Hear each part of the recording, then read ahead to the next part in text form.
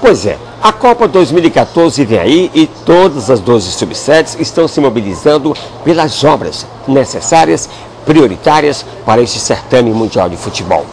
Aqui no estado, o secretário Ferro Feitosa passou toda esta sexta-feira em Brasília, reuniões no Ministério do Planejamento. Também o superintendente estadual da Infraero, Wellington Santos, ao lado dos outros representantes de aeroportos e também de secretarias das 12 subsedes, discutindo principalmente a engenharia financeira do projeto.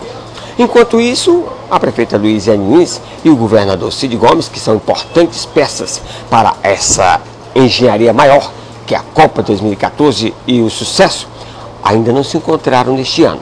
Ano passado, houve até dois, dois encontros, duas reuniões com as equipes de ambos, mas só que Cid e Luiziane não conversaram ainda neste ano. Parece que o atrito político está ainda se registrando, efeito da perda do estaleiro pelo Estado, que seria aqui em Fortaleza, e também pelaquela briga da buraqueira Cagesse e Prefeitura. De qualquer forma, é bom que Cid Gomes e Luiziane botem a cabeça para pensar e para começar a fazer reuniões sobre a Copa 2014. Porque senão Fortaleza vai acabar indo para o chuveiro cedo.